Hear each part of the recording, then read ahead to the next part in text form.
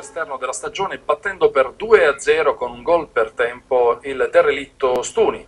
Ora la squadra di Maiuri veleggia nella zona playoff e tra l'altro coccola i suoi nuovi arrivi, uno dei quali decisivo nella gara di Ostuni.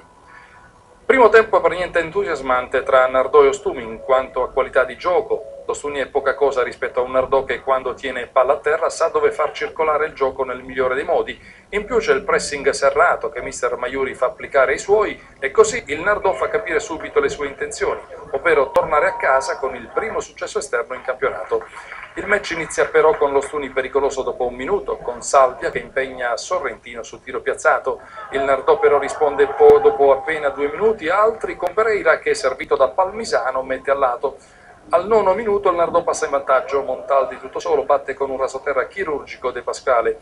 Lo Stuni subisce il colpo e il Nardò incalza. Al ventesimo Montaldi in rovesciata impegna il portiere. Al ventisettesimo punizione di Race per Manzillo in spaccata conclude debolmente.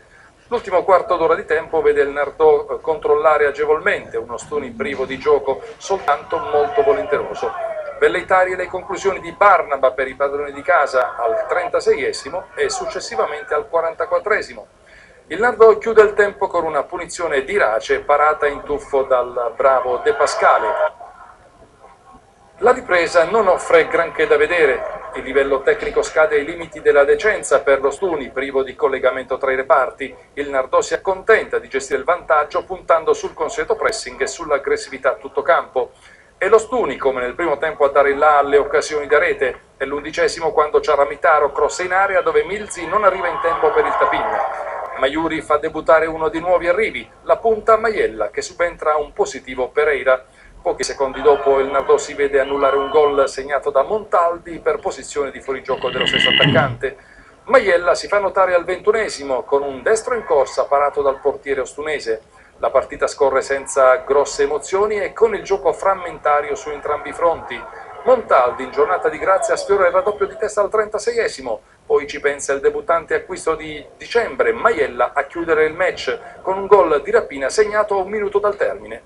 Lo riceve gli applausi per la generosità sferrata in campo. Il Nardò eh, li riceve dal suo pubblico, da 200 festanti tifosi, per il primo successo esterno della stagione e per l'ingresso a piccoli passi nella zona playoff, nonostante il buon mister Maiuri debba ancora accontentare una parte della tifoseria in contestazione con lui, nonostante l'ottimo lavoro.